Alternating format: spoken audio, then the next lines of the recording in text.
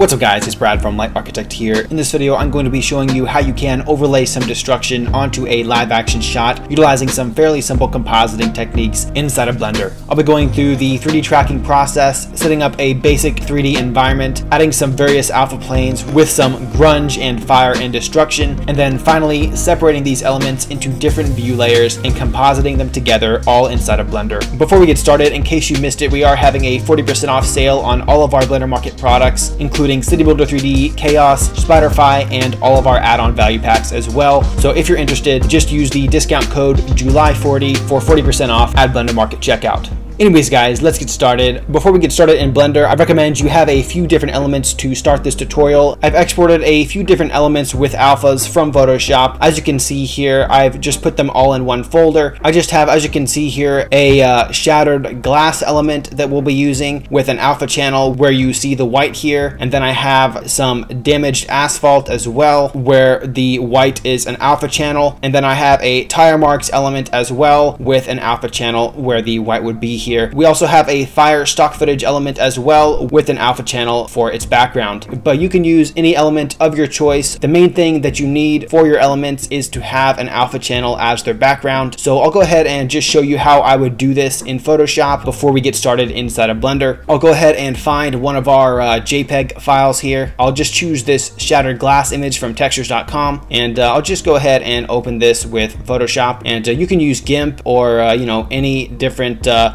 editing software of your choice as long as it allows you to save it as a PNG with an alpha channel. And uh, this is our shattered glass element that we'll be using. And uh, I'll just use our magic wand tool and I'll select the concrete portion of the image here. Then I'll go to our layers tab. I'll go ahead and duplicate this and click OK. I'll delete our background locked layer and now we just have a copy. And now I'll go ahead and just press delete. And now as you can see here our ground is gone. And if we deselect everything we just have some two-dimensional glass pieces on top of an alpha channel. And now if we just go to file and save as we can save it to our computer here. And I'll go ahead and save it under Photoshop files and we'll call it glass with alpha channel. And we'll change the format to a PNG and PNG will render out that alpha channel effectively. And uh, then I'll just click on save, choose your file size, I'll choose smallest file size, and now we should have this file saved as a PNG with an alpha channel, and we can import this into our scene and play around with it, overlaying it on top of our 3D scene in Blender. So you can do this technique with a variety of different grunge layers. I just wanted to show you guys how I did it for this shot, but uh, you'll need a few of those grunge elements, or you can download some online with alpha channels already attached.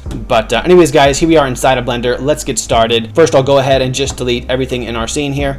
And I'm going to go ahead and switch to our Cycles rendering engine. So go to our Render Properties tab here and switch to Cycles. And the first thing we're going to do is motion track our shot. So I'll go ahead and click on the plus tab here and we'll go to uh, VFX and motion tracking. And then we're going to click on open and find our uh, video file. So I've just saved it under cop scene footage and we'll just choose our footage here. You can choose an image sequence as well. However, I've never had any problems with using MP4 files. So I'm going to go ahead and use this. Go ahead and click on on open and this is our clip here. One thing I want to do is I want to click on set scene frames here so that our timeline in Blender is automatically set up to include all of the frames in our footage. And then I'll also click on prefetch so that Blender loads in all of the frames from this video footage into our scene so that we can play it back more effectively. All right, so now that we've uploaded our footage into Blender, let's go ahead and track it. So I've done a little more in-depth tutorial on 3D camera tracking. I'll put a link to that in the description if you want to learn a little bit more about it. But for this specific tutorial, we're just going to use the detect detect features option here. So first I'll just uh, choose the blurry footage option so we have a little bit bigger pattern and search size. Then I'll just go to the beginning of our shot here and I'll click on detect features. And as you can see here, Blender is going to choose a variety of points for us. And if you don't have any points showing up here, you can increase the threshold for Blender to select these uh, different features. But this is looking pretty good. So I'll just go ahead and click on uh, track markers forward. And Blender is going to go through our scene as you can see and track all of these points. And uh, now I'll go ahead and click on detect features again, but this time at the end of our timeline. So I'll click on it here and then I'll click on track backwards here at the bottom and Blender is going to track these points backwards. And uh, then I'm going to go to the middle of our timeline, say frame uh, 200, since our end frame is at 355, maybe something like 160. I'll click on detect features again and then I'll track these tracking marks forward and then I'll track them backwards as well.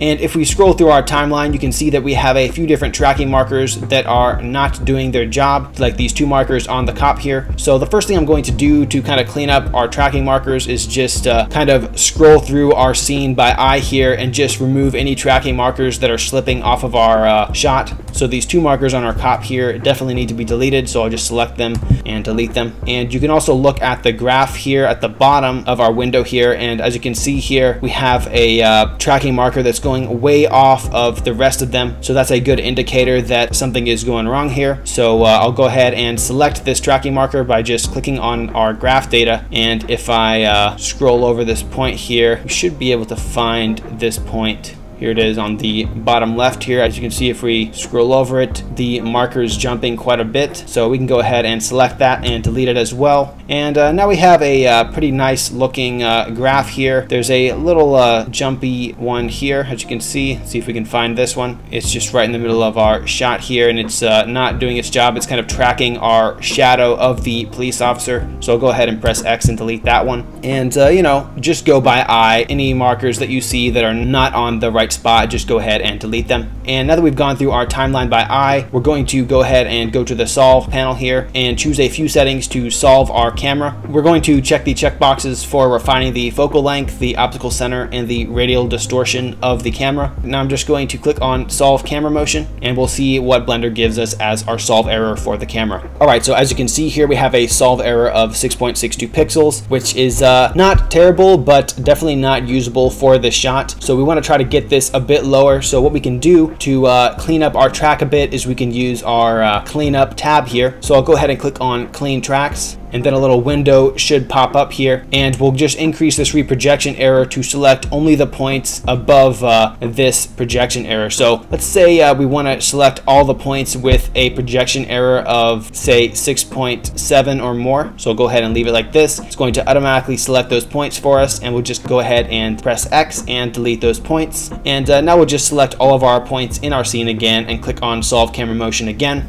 And now as you can see, we have a solve error of 2.22 pixels, which is much better than 6, um, but I'm going to try to refine it a bit more. Um, another thing you can do here is uh, add some tracking points manually so that you have some kind of reference for the geometry in your scene. So maybe I want to add a point here on the snow, for example. I'll uh, go to the beginning of our shot, kind of zoom into our snow here, and I'll press uh, Command left click, and I'll select that point of our snow here, and then I'll just kind of, you know, track forward forward and uh, you know see if that snow gives us a little bit of a nice reference there. And it actually does give us a nice reference. However, after a certain point, it starts getting covered by the cop car. So what we can do is we can select it here and then we can clear the track path of this marker after this point in our timeline. So I'll go ahead and click on that. And now as you can see, if I go past it, the uh, tracking marker just stops tracking after that point. So a lot of different little tricks here, but that'll give us a nice reference for our ground plane. Maybe we want to add one more tracking marker on our uh, road here, I'll choose another piece of snow, go to the beginning of our timeline, click on control, left click, and then I'll track through this one as well. As you can see, we're also losing this point at a certain point in our clip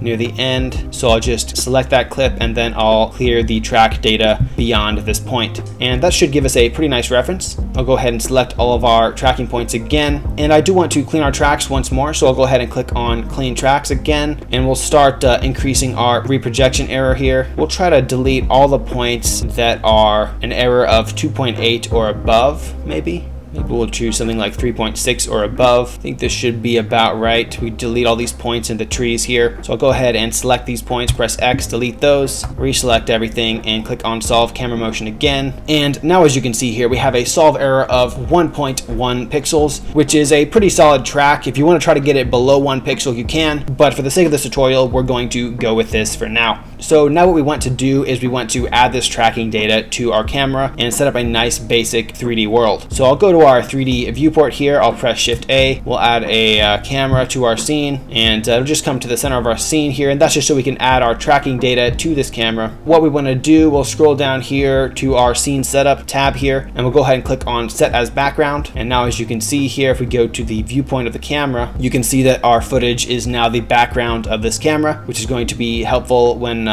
adding our elements. And then we'll go to the orientation tab here and uh, we'll choose a point for the origin of our scene. So I think maybe this point uh, right in the center of our scene should be pretty good. Right where this actor is getting put into the car here. I'll select that point and then click on set origin. And now as you can see here in our 3D uh, world, we have this point as the point of 000 in our scene. And you can use a lot of these different orientation tools here. I tend to use mostly just set origin and floor. So we'll go ahead and set a floor for the scene as well. I'll select three different points along our road here. So I'll select this one here, select this one over here, and then I will select this little piece of snow here and then I'll click on set floor and uh, now Blender kind of knows the general layout and orientation of our 3D camera in our world and finally after we've done this we'll go ahead and click on setup tracking scene and now Blender is going to add some uh, basic geometry and uh, compositing nodes for us to use later in our scene. Alright, so now that we've tracked our camera, let's go back to Layout tab here and adjust a few things. When we clicked on the Setup Tracking scene, Blender automatically created a foreground and a background for us. And in the foreground are the elements that are going to be rendered normally, and the background is just our ground plane shadow catcher. For this specific tutorial, however, we're not going to use a shadow catcher, so I'll just uh, go ahead and delete it here. And uh, we can still keep this ground plane just so uh, we have a reference of our ground. And we also want to go to our secondary view layer here our background view layer and we actually just want to delete this view layer for now. And uh, now we just have one view layer. We'll start adding more later in this tutorial but uh, this should be a good starting point. I'm also going to select our light here and just delete this from our scene and I'll move our camera to our main scene collection Alright, so if you scroll through the timeline, you'll notice that our camera is tracked and moving in the same way that our live action camera was moving for our video file. And what we're going to do now is kind of recreate the geometry of our live action shot inside of the computer so that we can composite different elements a little bit more effectively. So one thing we can enable to help us do this is uh, the motion tracking data for this camera. So I'll go up here to this little drop down menu and enable motion tracking data. And now as you can see here, we have all of our different tracking points inside inside of our 3D world so that we can use this to recreate the geometry of our scene. And the nice thing about adding a floor to our scene is that our ground plane here is automatically the same orientation and uh, kind of rotation as our road. So we can use this as a really nice reference for placing our grunge and other different layers on top of our live action shot. One thing we don't need, however, is this cube here. So I'll go ahead and select it and delete it. And I'm going to open up a side window here. And on this side window, we'll go to view and viewpoint camera. And now we can kind of work in the 3D world in this side while seeing our camera view in this side of our 3D window. Alright, so the first thing I'm going to do is just select both our camera and our background plane here and just scale them up a little bit. And I just want to give a little more space here for our scene, something like this. And now what I want to do is I just want to position our ground plane here so that it pretty much is the geometry of our road. So it's already in the right orientation generally. However, what we want to do is just make it a little bit skinnier so it's just where our road would be here. So I'll just go ahead and press S and then Y and we'll scale it down on the Y axis. And then we should be able to just kind of move it over on the y-axis as well until it's where our road would be. And this is just a nice reference to add the rest of our elements on top of it. All right, so now that we've created our road geometry, the next thing we're going to do before adding any of our grunge elements is actually recreate the car geometry in our scene so that we can use the car geometry to mask out our road elements a little bit more effectively. So what I'm going to do here is I'm going to append a very basic low poly 3D model of a car. So I'll go ahead and just go to file and append.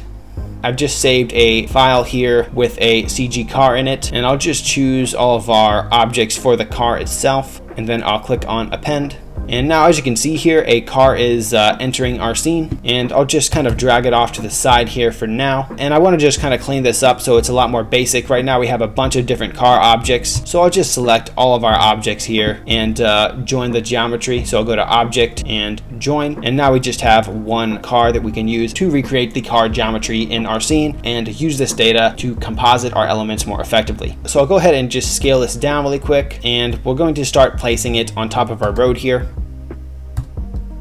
something like this probably is pretty good. And uh, we want to use our you know camera view here to align it as best we can And we want to make sure also that, you know, our wheels are touching the ground plane here where our road would be in the scene, like this. Scale it up a bit. Something like this should be pretty good. You can also, you know, open the doors of this 3D car to recreate the car doors of uh, our live action shot as well but um, just depends on the level of detail you're going for. I think something like this should be pretty good. And one thing we can do to test it is we can play through our footage. And as you can see, it's looking pretty good. Our 3D car is pretty much exactly where our live action car is in our shot. So now we can use this car as a holdout layer to mask out any road elements that we add on top of our scene and uh, we don't have to rotoscope anything out manually. But uh, first we're going to duplicate this car and use it to recreate the geometry of the other two cars in our scene. So I'll go ahead and do that really quick.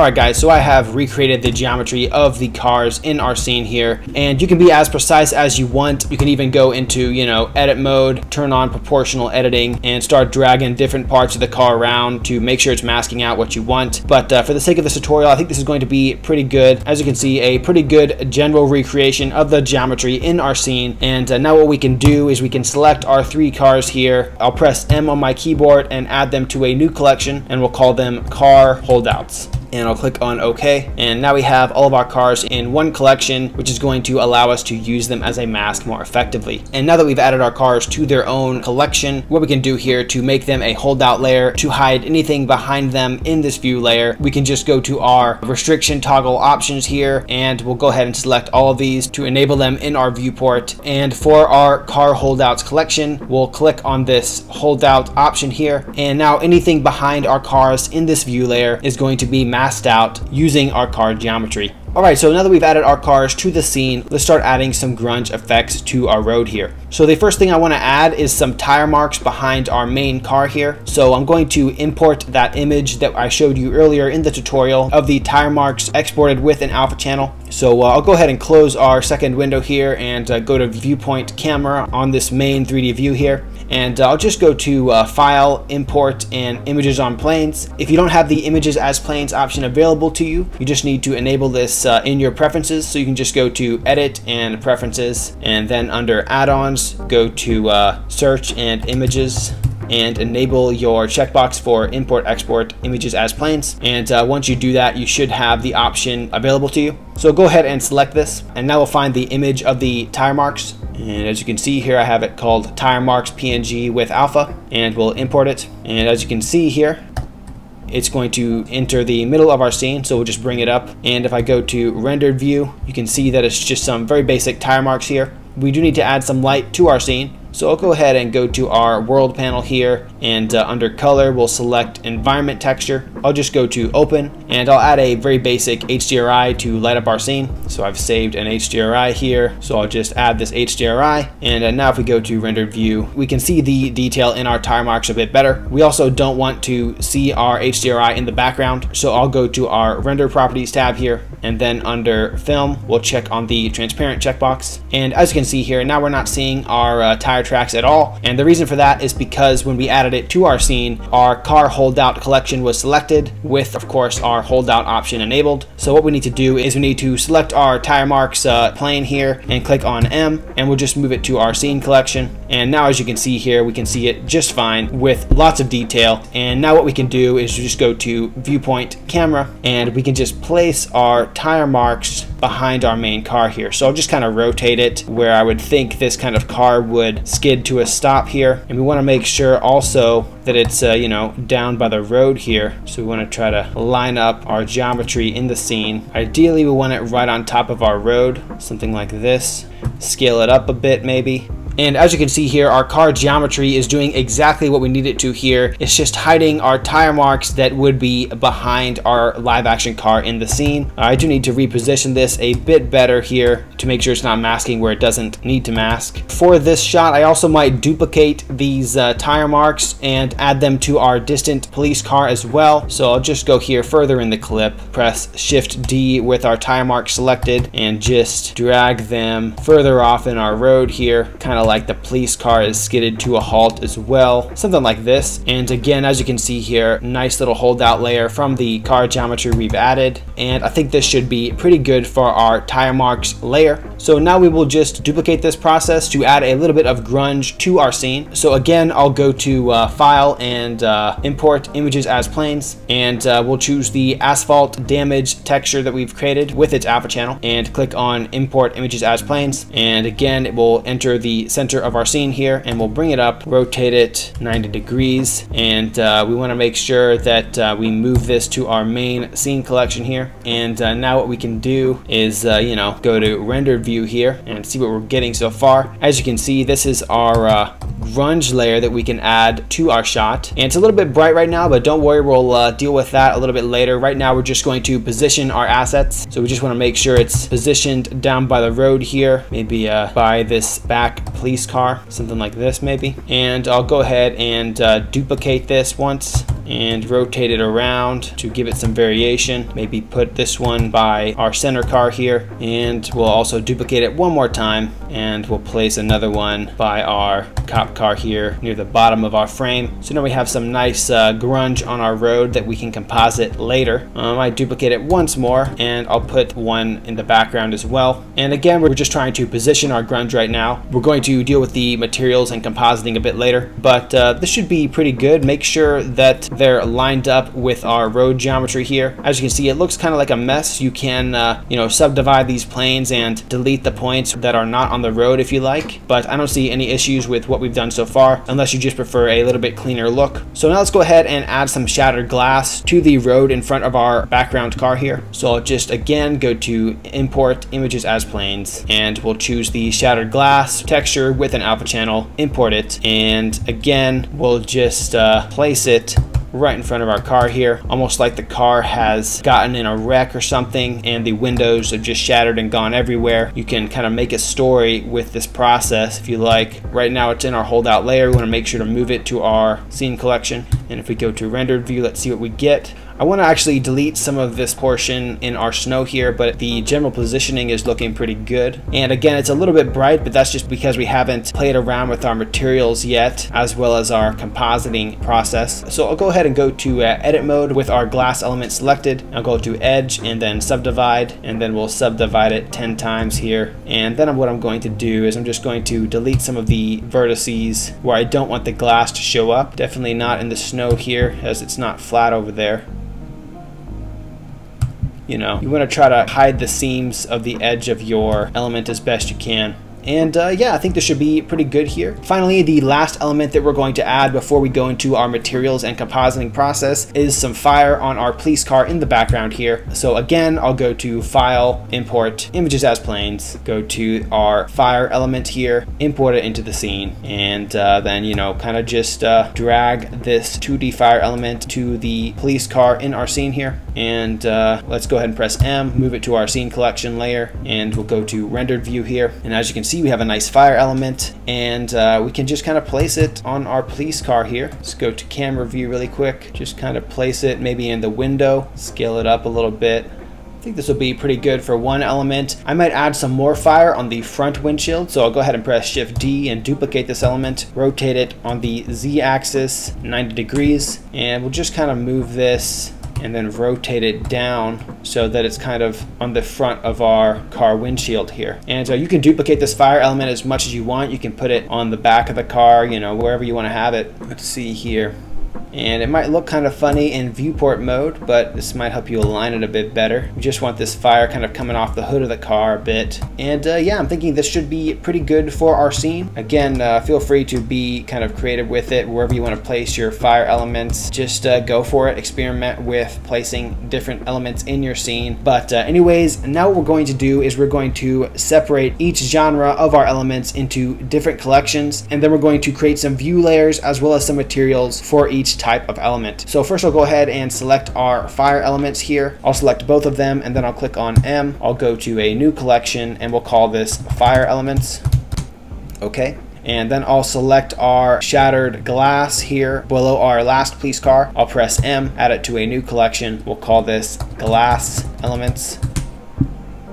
And now we'll select all of our assets for our damaged road. So let's see here, we have one back here, you know, all of these asphalt damaged textures. I think that's all of them. With all of those selected, I'll press M, we'll add them to a new collection. We'll call it road damage.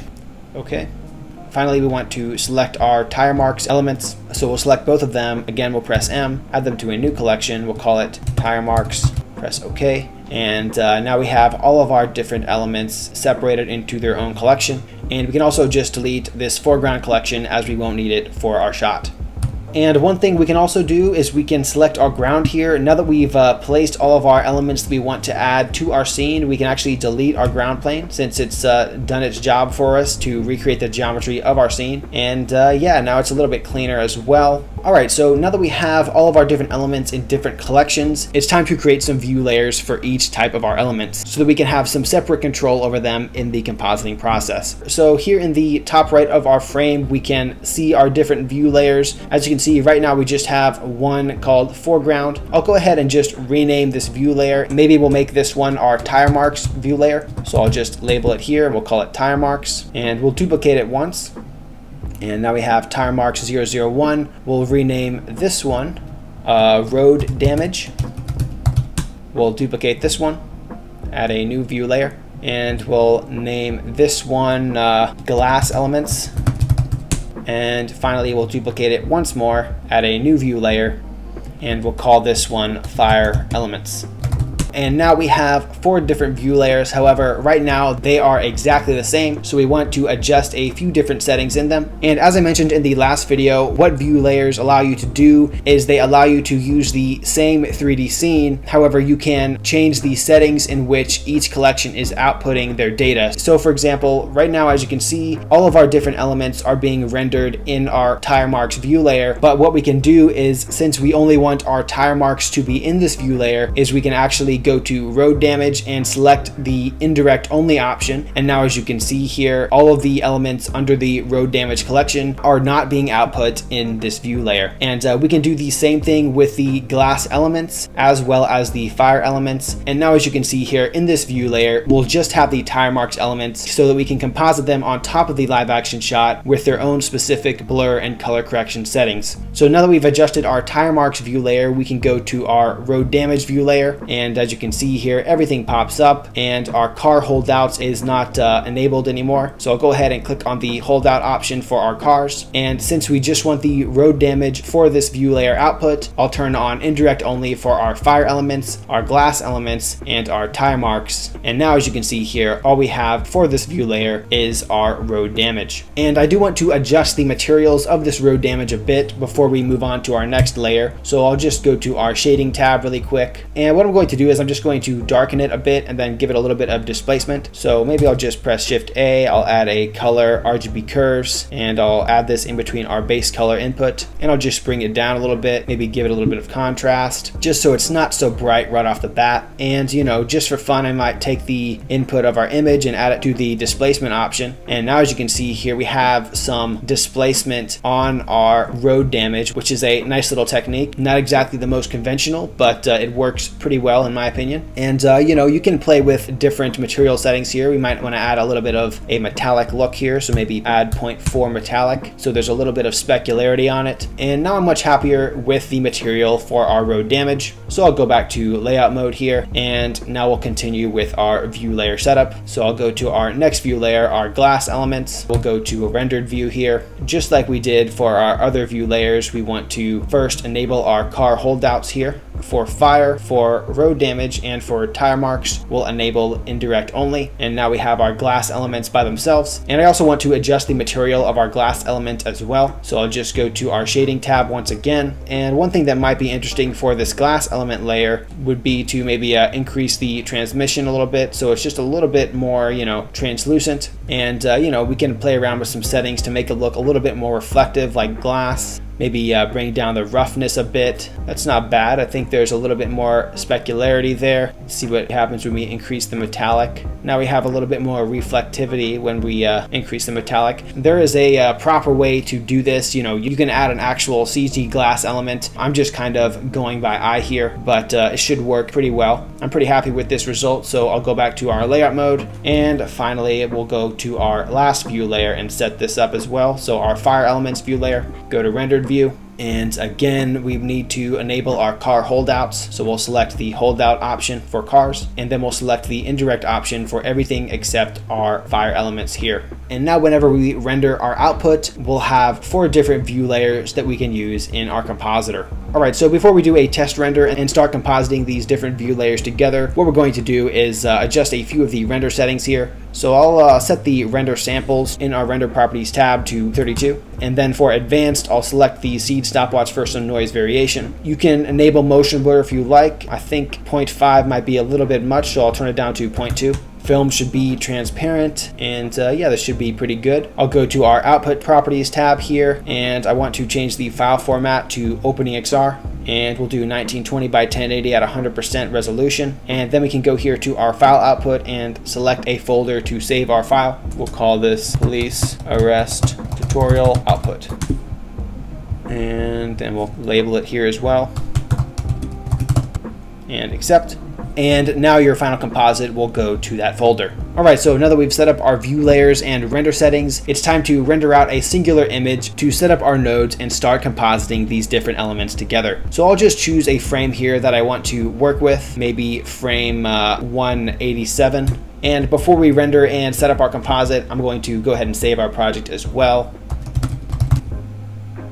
Now we'll go ahead and click on render and render image and give Blender some time to render out your separate view layers so that we can composite them all together in the compositor.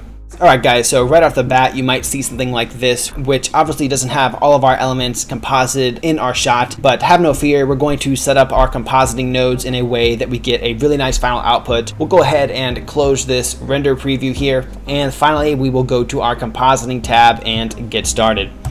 So I'll go ahead and zoom out here a bit. This is our very basic compositing node setup here. At the end of this, it might look a little bit complex if you're new to node-based compositing, but uh, don't worry, I was also new to this pretty recently and it's not too hard to figure out. But anyways, let's get started. The first thing we're going to composite on top of our live action shot here is our tire marks, which is already kind of sort of composited in our scene here. There are a few adjustments we need to make right off the bat, however, because uh, Blender automatically set this uh, node setup for use with a shadow catcher here on our bottom render layer. So I'm going to go ahead and delete our bottom render layer really quick. And then I'll take this top render layer here with our tire marks input selected here. Then I'm going to put this in our bottom node of our second alpha over node. And then I'm going to move this input here to our second alpha over node as well. And we'll just delete this first alpha over node. And now as you can see here, we have our very basic tire marks layer overlaid on top of our footage. But uh, let's adjust a few of our settings here. So first I'll go ahead and duplicate our movie clip here with its distortion and scale node as well. So I'll press Shift D and duplicate all of these. And then I'm going to press Shift A and we're going to add a mix node right before our alpha over node. And then I'm going to move this input to our second mix input here. And we're going to change the mode to multiply. And now as you can see here, our tire marks are blending into the scene a bit better. However, we do need to color correct it a bit here. So I'm going to go ahead and press Shift A. We'll add a uh, color RGB curves node here right after our tire marks input and we'll just increase the brightness a little bit of our tire marks to kind of uh, blend them into our shot a bit better. And already this is blending into our environment much better I might also press uh, Shift A. We'll add a color balance node as well. And I might just kind of tint our tire marks a little bit toward the color of our road here. So a little bit, you know, more tan. And now as you can see here, I think it's blending into our environment quite a bit better. And pretty much what we're doing here is we're taking our tire marks view layer input here. We're brightening it up a little bit and then we're giving it a little bit of color correction, then multiplying it on top of our live action shot so that we can use some of the luminance values to composite it together with the shadows. And finally, we're overlaying this on top of our original live action shot with the alpha over overnode here. So I'm pretty happy with the way our tire marks are looking here. However, depending on your shot, you can add some blur, some more color correction, change the opacity, whatever you want to do to kind of blend it into the shot. But I think this will be fairly convincing here, especially once we add our other road grunge elements on top of it. So now what we'll do is we'll press Shift A, we'll add a, another render layer here. So input, render layers and we're going to select this time the road damage layer. Again, we will duplicate our movie clip, undistortion and scale node as well as our multiply node and press shift D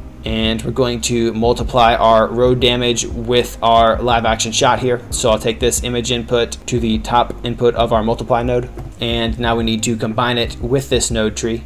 So uh, I will actually so I'll actually uh, press Shift D on this alpha over node and uh, add this to the node tree. And then we will move this input to the bottom input of this alpha over node. And now already, as you can see, we have some road damage overlaid on top of our composite. And now we want to color correct this road damage. So I'll just add another RGB curves here maybe bring it up a little bit so it's not quite so dark. And we'll just kind of you know adjust our road damage here so that it blends into our street a little bit more here. Maybe increase the contrast a bit. And if you want to get more of that displacement you can actually decrease the factor on the multiply node here and as you can see, you can start seeing more of the displacement on top of the road here. However, I think it's much better with this factor at one. So it's just kind of a dark element, kind of a stain on the street itself. And I'm pretty happy with the way this uh, road damage is blending into our shot. So I'm going to move on to our glass element. So I'll just duplicate this entire node tree here where we added our road damage. I'll press Shift D. And again, I will uh, duplicate our alpha over node, add it right before our viewer, and then connect it to our composite. And then uh, I will connect this multiply to this alpha over node and we need to change the uh, view layer for our render layer input. So I will select the glass element input here and we're not seeing anything show up and that's just because we've uh, done something with the RGB curves here so maybe we can just uh, get rid of our RGB curves for now and see what it does without it. It's not showing up because this multiply node is not working well with our reflective glass element I might actually keep it at multiply, but then I'll bring the factor down to 0.2. And there we go, that's looking much better. The glass element can be a little bit tricky since we want to help blend it into the shadow of our police car here using this multiply node, but we can't use it too much because it almost entirely disappears. So I'll just start increasing our factor on the multiply node here until I get something that I like. My 0.3 is not bad. And then I'll add an RGB curves once again and maybe bring down the brightness of it a little bit. Just uh, color correct the element a bit here. 0.65, let's try 0.65. And I think this is looking pretty good here. Just got to keep color correcting it a bit and adjusting our multiply settings as well. One thing I might do is uh, give it a little bit of a blur because our live action shot is a little bit blurry back here as well. It's not too sharp. So I'll just go to filter and we'll add a bokeh blur right after our RGB curves node. And then regarding the size, we'll bring it down to 0.1 maybe and that's a little too much actually, maybe 0.05. And uh, yeah, I think that's not bad. Again, you can keep color correcting it a bit, Maybe you want to add a uh, color balance node in here as well. Maybe tint it a little bit bluer, like the sky is reflecting off the glass maybe. Actually, maybe it needs to be a little bit warm just because of our ground here. Alright, something like this is looking pretty good, but feel free to play around with this element even more in the compositing node setup here. Finally, let's composite our fire elements on top of our police car here. So I'll uh, drag our composite and our view node over here. I'll duplicate our alpha over node here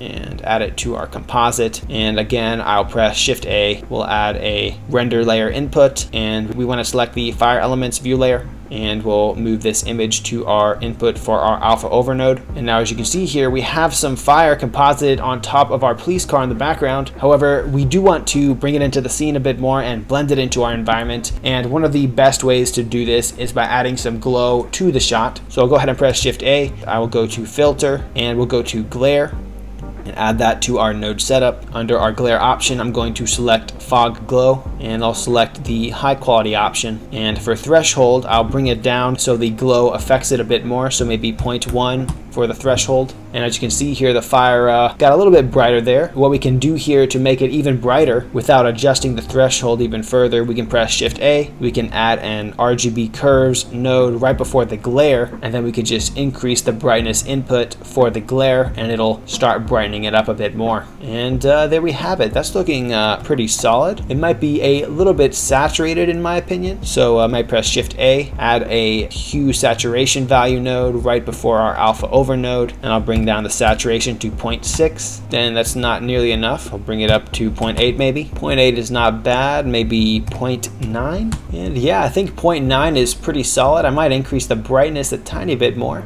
And uh, yeah, again, keep adjusting it depending on your taste, but uh, I'm pretty happy with this final result. Of course, we can also, you know, add some very basic color correction to our uh, final composite here. Maybe give it a little bit of a color tone difference between the shadows, midtones, and the highlights. But uh, yeah, I'm pretty happy with this result. To render out your final shot, of course, you can just go to render and render animation, and Blender will output all of your frames to that OpenEXR sequence that you selected for its output output. Anyways guys, that's it for this video. I hope it was helpful. As always, feel free to leave a comment if you have any questions or suggestions in the comment section below. Let me know what kind of videos or tutorials you'd like to see next, and I'll see you next time.